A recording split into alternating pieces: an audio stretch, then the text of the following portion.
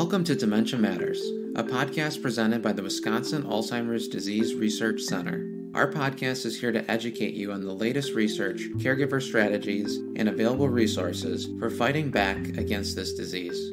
I'm your host, Nathaniel Chin. Thanks for joining us. Our guest today is Dr. Sanjay Asthana, Dean of Gerontology at the University of Wisconsin School of Medicine and Public Health, and the Director of the Wisconsin Alzheimer's Disease Research Center. Dr. Asthana is a world renowned Alzheimer's disease researcher who has led dozens of Alzheimer's disease clinical trials here in Wisconsin. Dr. Asthana also sees patients with memory disorders at the UW Health Memory Clinic. Dr. Asthana, welcome back to Dementia Matters. Absolutely. Thank you. Glad to be here. I'm going to start with the definition for our audience because we're going to talk about clinical trials. So, a clinical trial is any research study that involves human beings and looks at how one or more health related interventions influence health outcomes over a period of time. Does that seem like a fair definition? Yeah, that's exactly what it is. So, then knowing that, why have clinical trials with Alzheimer's disease failed thus far? Yes, you know, as you know, a number of clinical trials have been conducted over years involving patients with Alzheimer's disease. And unfortunately, most of those trials have failed. And we think that there might be a number of reasons why majority of these trials have failed. But among the most common reasons uh, why these medications or trials didn't work, it is we don't quite understand all the mechanisms through which Alzheimer's disease is caused. So, unless we can understand different ways through which the disease develops in the brain, we won't have treatments for all those mechanisms. Currently, we know that there are two abnormal proteins that get deposited in the brain. One is an amyloid protein, the other one is tau protein. Thus far, the majority of clinical trials have focused on clearing the brain from amyloid protein. So, unfortunately, because we don't quite understand the disease, we don't have the best medications to treat the disease. So, that's number one reason why many of the trials have failed. The other reason is that the diagnosis of Alzheimer's disease also can be tricky in some patients. So, it's possible that some of the trials, the investigator thought they had patients with Alzheimer's disease, perhaps they had other forms of dementia and they may not have had the disease, so the medication didn't work in those patients. And the third major reason is that the medications were probably given at a more advanced stage of the disease when the disease is severe enough that nothing can change it. So these are some of the common reasons we think that the trials have failed. And it's not for a lack of trying, because we've had over 400 trials to date and we've spent billions of dollars on it. Absolutely. Now, you mentioned not knowing all of the targets and that this is a very complicated disease. Yes. So, what targets have trials looked at? What mechanisms have we investigated? Majority of these trials have tried to clear the brain from the amyloid protein which gets deposited in Alzheimer's disease. Fewer trials that also unfortunately did not work focused on the other abnormal protein called the tau protein. And these two proteins are the major targets for treatment so far. But we know that there are many other changes that take place in the brain apart from these proteins. Namely, uh, there's a lot of swelling or inflammation in the brain. There's also quite a bit of uh, damage to what we call synapses in the brain. That's where information is uh, transferred from one part of the brain to the other. And there's also quite a bit of so called oxidative damage. So, those mechanisms really have not been investigated intensively, although some trials have used anti inflammatory drugs, and those trials have also failed. So, other mechanisms have been looked, but basically, the major mechanisms are the two abnormal proteins, namely amyloid and tau protein. Well, what have we learned, though, from these trials? Even though they haven't been successful, I'm sure we've gained valuable information from them. Yes, we have. So, one of the important messages uh, from these trials is that we need to try medication treatment at a much earlier stage of the disease, perhaps even when people have no symptoms. But we know from special brain scans and from analysis of the cerebrospinal fluid that they may have the disease pathology going on, but they have no symptoms. So maybe that's the best stage to try the trials, and none of the trials have done that yet. Also, I think uh, we need to really diagnose the disease better so that right medication can be given to right patients.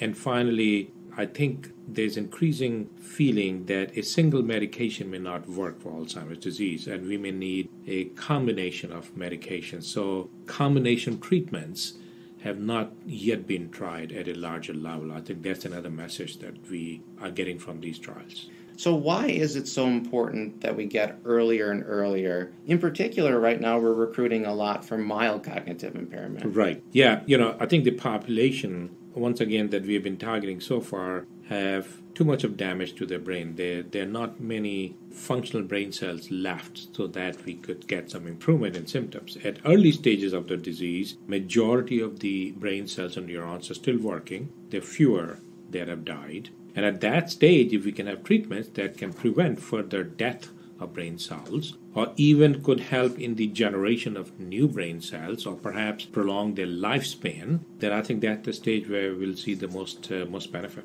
So we want to get to them before there's a tipping point where Exactly. we can't return. Exactly. Well, so then knowing this, knowing how important it is to get to people who don't have symptoms, what role do biomarkers play in identifying the right population? Yes, so as you know, Dr. Chin, that biomarkers are perhaps the most important area of research in Alzheimer's disease. So, by biomarker, we mean we may have certain proteins that we can measure either in the blood or in the cerebrospinal fluid, or we can do special brain scans which can pick up the abnormal amyloid and tau proteins. So, there's really substantial evidence to suggest that at least 15 to 20 years before someone develops the disease, there are changes in these biomarkers. So these biomarker changes appear years, if not decades, before the symptoms develop. So, do you see biomarkers being one of the pivotal filtering tools that researchers have to get people in the right studies Yes, we do. trials? Yes, in fact, the newer clinical trials trying to take only those people in the trials who have biomarker evidence of the disease. And also, these biomarkers can serve as a measure of response to treatment. So, let's say that at the start of the trial, someone has abnormal biomarker levels, and at they participate in the trial and the treatment is given over months or years, perhaps these biomarkers may show improvement, which suggests that the brain cells are improving and there's fewer deaths. So biomarkers are not only evidence of disease but also a response to treatment. So, a recent study was mentioned at a big conference this summer involving a compound called BAN2401. And I suspect that's because it's in such early stages they don't have a name for it yet.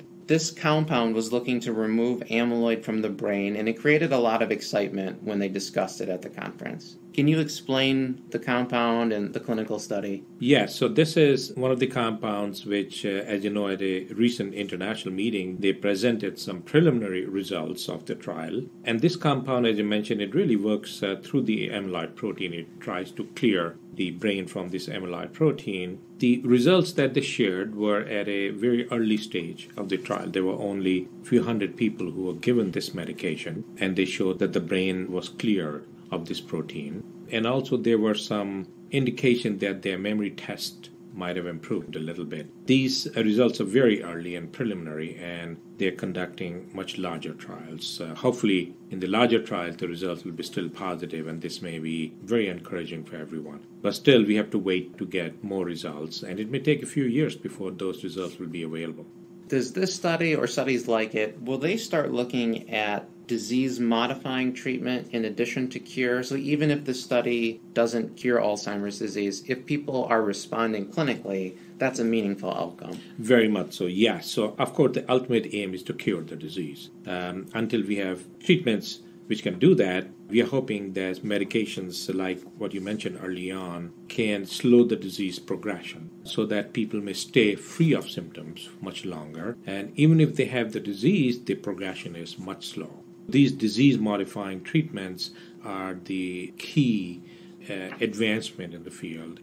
Are there any other promising studies or even general approaches that you see on the horizon? Yes, uh, very much so. So, as you know, there are many other non pharmacological interventions that we think might be promising in either delaying the disease or perhaps even stopping its progression. And among those include exercise, which, uh, of course, is uh, increasingly being shown to be very effective. Terms of uh, reducing risk for Alzheimer's disease and also slowing its progression. Healthy lifestyles, uh, especially if people have diseases like heart disease, high blood pressure, diabetes, high cholesterol, if you manage those diseases effectively, we know that it reduces the risk for Alzheimer's disease and even progression. And also dietary changes. There are certain diets, although large studies have to confirm the efficacy, but diet, healthy lifestyle, and uh, exercise are also being tried in clinical trials to see if they can be effective.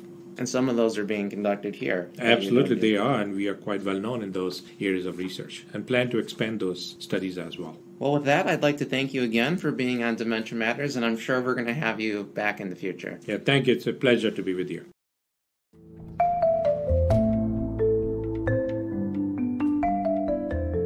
Dementia Matters is brought to you by the Wisconsin Alzheimer's Disease Research Center. The Wisconsin Alzheimer's Disease Research Center combines academic, clinical, and research expertise from the University of Wisconsin School of Medicine and Public Health and the Geriatric Research, Education, and Clinical Center of the William S. Middleton Memorial Veterans Hospital in Madison, Wisconsin. It receives funding from private, university, state, and national sources, including an NIH NIA grant for Alzheimer's disease centers. This episode was produced by Rebecca Wasieleski and edited by Alex Worley. Our music is Cases to Rest by Blue Dot Sessions.